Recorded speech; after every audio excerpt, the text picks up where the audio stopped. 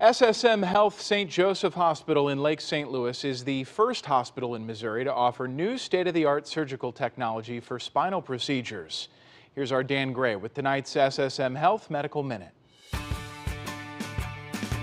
We aim the laser points on here and then take a picture. It's called the 7D Surgical Flash Navigation System, image guided technology to help spinal surgeons guide their tools to the critical areas with better accuracy. Image guidance, it's the benefit of being more accurate with the placement of the hardware, which avoids potential complications during surgery as it relates to those complications repeat surgery. So it absolutely gives me a 3D image of what I'm, where I'm placing the, the probe in this case, or the screw, or the, any of the hardware that we put in. The system features sophisticated camera technology and it uses no radiation, making the surgery safer for everyone. It's different than some of the more traditional systems that use radiation, x-rays.